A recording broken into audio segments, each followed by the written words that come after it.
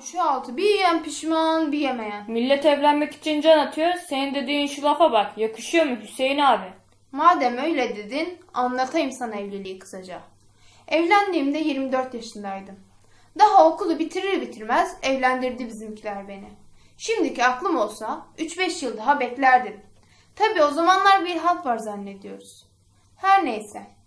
Daha nişanlıyken bizim hanım ağzıma bal sürmeye başladı. Yok evlenince onu yaparım. Bunu yaparım. Sözünden çıkmam.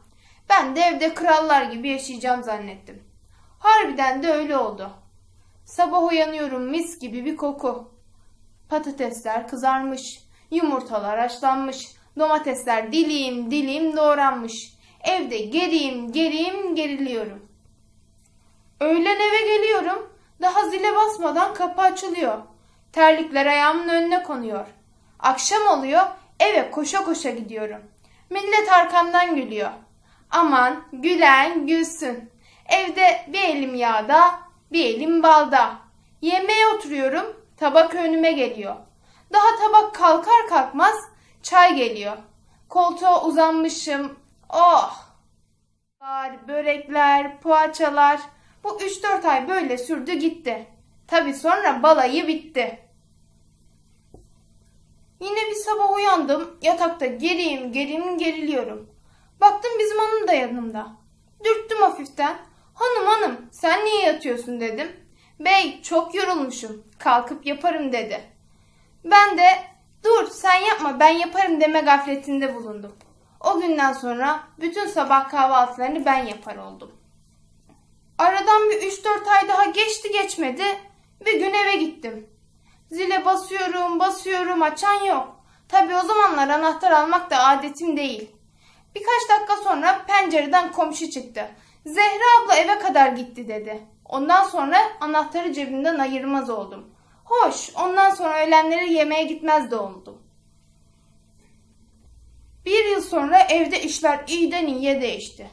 Daha ben evden girer girmez kurulan sofraları ben kurar oldum. Sabah kahvaltılarını ben yapıyorum. Öğle yemeği desen bir çay kalmıştı elimde. Çayın değişimini yalnızca izleyebildim. Bir gün oturuyoruz hanımla. Bir baktım çayım, çayım koyulmuş, şekeri karıştırılmamış. Neyse hanım unutmuştur deyip ben karıştırıverdim. Aradan 3-4 gün geçti. Bu sefer baktım şeker yok. Hanıma sordum. Hanım unutuvermişim bey. Bu seferlik sen atsan ne olur dedi. Olur dedim. Akşam yemeği bende. Sabah kahvaltısı bende. Bir gün yine oturuyoruz hanım çay yapmamış. Hanıma doğru baktım. Hanım çay yapmamışsın dedim. Hanım demi demez mi çok yorgunum diye. O günden sonra çay işlerini de ben alıverdim.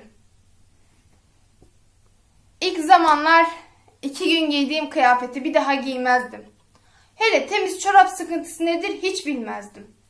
Bir gün yine kalktım işe gideceğim. Dolabı bir açtım. Temiz kıyafet yok. Hanımı da uyandırmaya korkuyorum tabi. Bir şeyler buldum buluşturdum gittim. Akşam eve geldim. Hanıma sordum. Yine aynı terane. O günden sonra çamaşır ütü de bende. İlk altı ay sürdüğüm krallığın sessiz sedasız gönüllü ihtilali oldu. Benim de krallığım bedelli esarete dönüştü. Yahu hocam bu evliliğin hiç mi iyi yanı yok? Evlilik askerlik gibidir genç. Gittiğinde kendini kahraman zannedersin. Oraya gittiğinde şafak saymaya başlarsın.